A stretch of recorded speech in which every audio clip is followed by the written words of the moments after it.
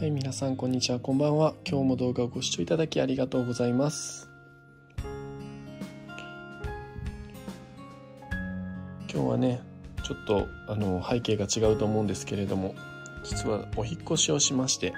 まあねちょっといろいろあって引っ越すことになりまして今そちらの引っ越し先からあのこちらの動画を撮っています。しばらくねあの忙しくしてたので動画撮れなかったんですけどまた、まあ、1週間にね12回は動画投稿できたらなと思います。なのでまた遊びに来てください。で今日はねあの Twitter の DM の方で犬を飼いたいんですけどっていう風なご相談を受けましてでまあちょっとあのそちらの方には個別に返信はしたんですけれどちょっと僕が思うことをお話しできたらなと思います。では行ってみましょう。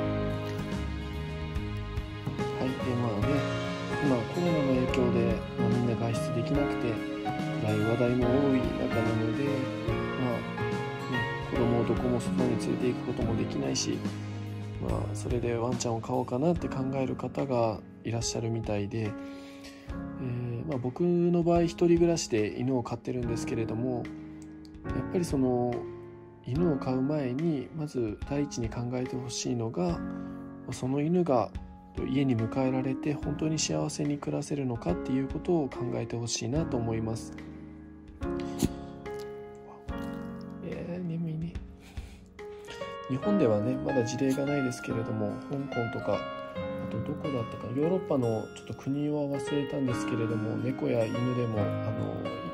インフルエンザじゃないやコロナウイルスにかかってるっていう風なとニュースも耳にしていますし確率としては低いですけれどもやっぱり人から犬への感染っていうことも考えられるんだと思います。外に出れないから犬を迎えるっていうのはまあ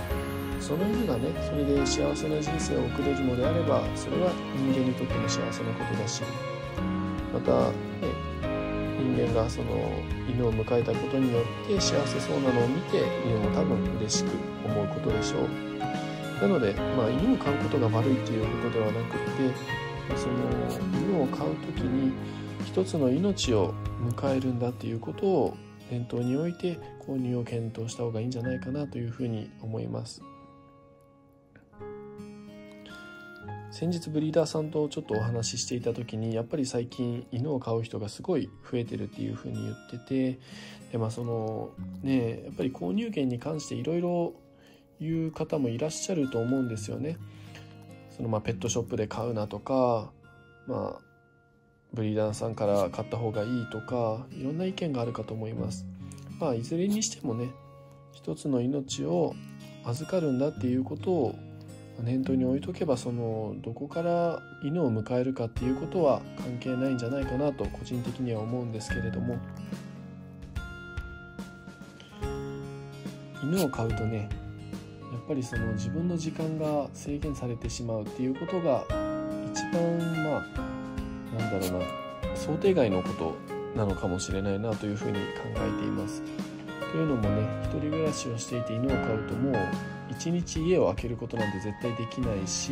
まあ、友達と遊びに行っても、夜には絶対帰らないといけないしなんせね